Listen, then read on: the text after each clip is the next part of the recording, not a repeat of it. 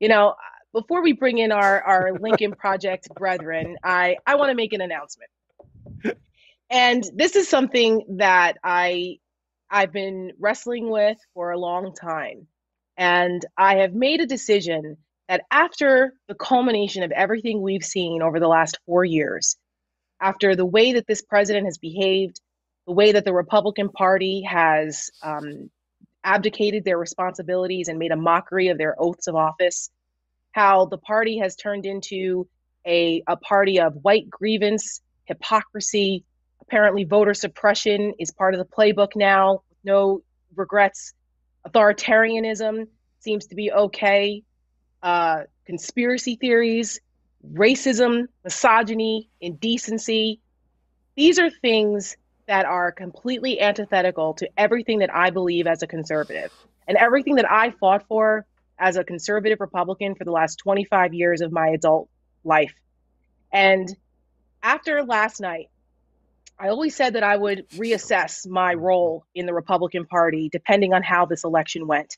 I was cautiously optimistic and hopeful that there would be a repudiation of Trumpism, and that would give uh, Republicans like myself, the sane ones, an opportunity to possibly rebuild and have a role in trying to root this out and build the party anew it's clear to me after almost 70 million people voted for a sociopath that the Republican Party is no longer something I can associate myself with. I'm done. I'm out.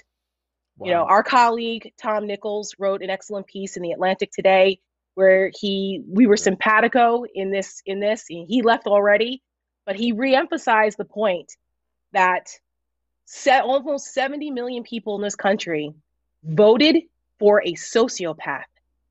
And Donald Trump last night in the White House actually sounded like a, a two bit dictator, making declarations about our system and things that are completely against what all of us who are in the Lincoln Project and those of us who were disaffected, never Trump Republicans, we do not stand for that.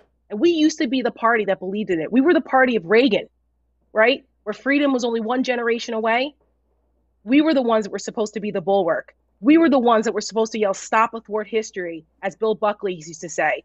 We were supposed to be the sentinels in the watchtower. Where has that gone? It has gone to support a sociopath, malignant narcissist who has brought in authoritarianism in a way that it should be dangerous to this country and a threat to our future. So that is something that I no longer want any parts of. I will be an independent until now. I'm still a little c conservative. My belief system and worldview has not changed because the messengers are fallible. But I'll tell you something right now. My fight moving forward is part of this pro democracy movement, and it's to do the right thing because here in America, right still matters. And that's where the fight will be will continue for me. So that's that. That's what I wanted to say. That's my announcement. And um, it's it's a new day. God bless, Tara. Love you. Thank Love you. you. so much. Uh, it, it, it, I know that took a, it was a big jump, and and but welcome. The water's fine. The water's fine. we're all. We're, it's so. It,